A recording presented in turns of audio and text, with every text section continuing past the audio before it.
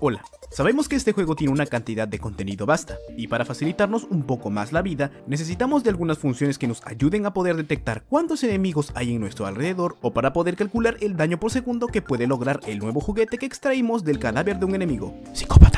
Y qué mejor que un teléfono celular que nos muestre una gran cantidad de funciones de las cuales probablemente usemos dos de estas. Para conseguir este teléfono necesitamos un total de 13 objetos que podemos crear y obtener de ciertos enemigos, aunque la verdad en algunos casos están bien gachos de conseguir. Comenzamos con el reloj de platino u oro. Este accesorio nos puede brindar la hora y minutos exactos de nuestro mundo y se puede crear con 10 lingotes de platino u oro y una cadena de hierro en una mesa ya sea normal o de trabajo que estén acompañadas de una silla. El medidor de profundidad que se obtiene de todos los murciélagos del juego, salamandras y padres cangrejos, nos ofrece la posibilidad de saber la profundidad en la que estamos por medio de la medida de pies, perfecto para los amantes de las patas.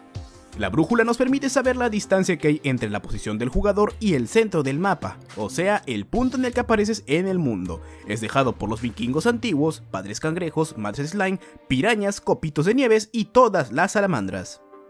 Teniendo estos tres objetos podemos crear en el taller de chapuzas el GPS, que como es costumbre junta los efectos, en este caso funciones que tienen estos objetos en uno solo.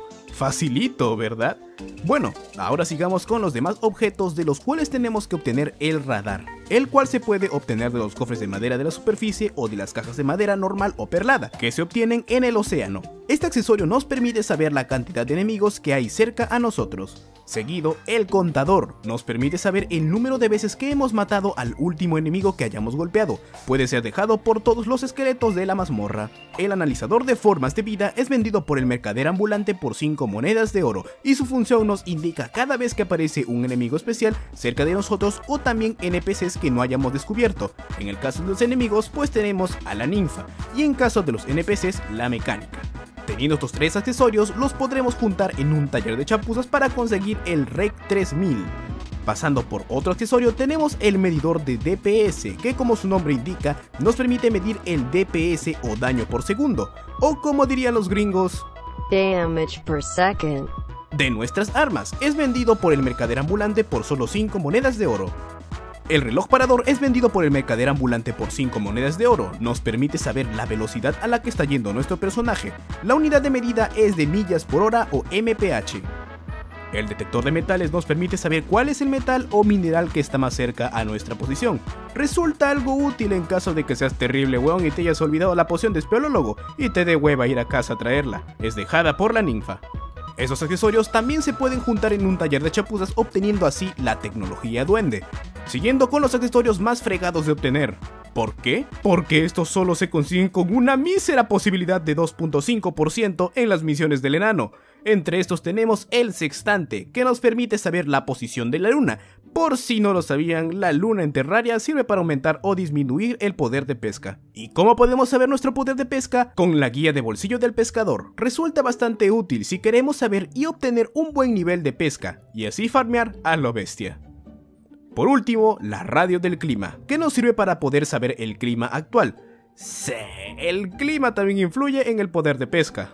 Ahora, juntando estos accesorios, obtendremos el localizador de peces. Teniendo estos cuatro accesorios que son combinación de otros, podemos juntarlos y obtener el PDA, que combina todas las funciones de esos accesorios. Y finalmente, si juntamos el PDA con un espejo mágico o espejo de hielo, obtendremos el todopoderoso...